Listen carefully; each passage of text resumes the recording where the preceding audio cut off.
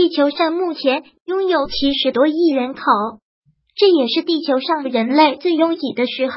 谈到人类对地球的影响，基本可以说是负面影响远远大于正面。譬如人类排放的二氧化碳造成全球变暖，人类释放的化学污染了海洋和河流，人类的乱砍滥伐造成森林面积急剧减少。那么，你有没有考虑过，假如人类在一夜之间突然从地球上全部消失，地球会发生什么变化呢？也许大多数人会这样想：如果时间足够长，地球将会抹掉人类存在的所有痕迹。重新回到了原始的状态。美国亚利桑那州大学科学家艾伦·威斯曼博士在其新书《没有我们的世界》中，对没有人类的地球将会发生什么变化进行了大胆的科学猜想。人类消失几小时后，世界上所有的灯将会熄灭，因为大多数发电站将停止运行，水力发电站除外。一周之内。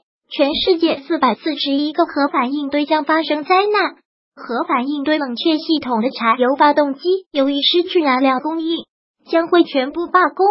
核反应堆将一个接一个由于过热而燃烧、融化甚至爆炸。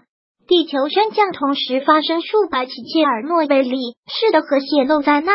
大量放射性物质将会被释放的空气、河流和海洋中。猛兽树木爆炸是狂赠。新书预言：当人类从地球上消失后，地球上的生态环境将大大松口气，海洋、河流、空气和小溪都将很快重新变干净。在很短时间内，大自然将会重新获得对地球的控制权。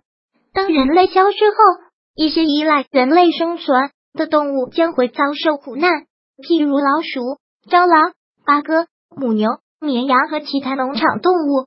寄居人类身上的头虱将会在一年之内灭绝，艾滋病毒也将从地球上绝迹。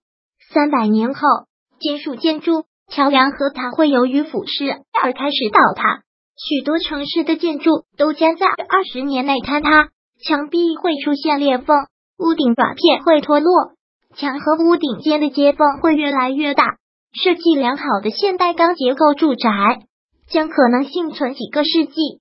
一万年后，人类存在过的证据将只剩下我们用石头制造的东西，金字塔、长城等。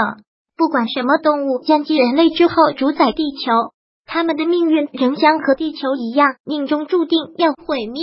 目前，太阳正处于中年，在几亿年后，它会变得更热更亮。到公元十亿年，太阳的热量将会毁灭地球上的几乎所有生物。到那时，也许只有一些昆虫和植物能够幸存下来。当海洋也被蒸发光后，地球的进化史将写完最后的一章。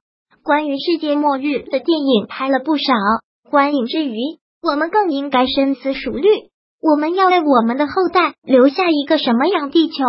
如果喜欢本视频，请分享并订阅本频道，别忘了按赞哦！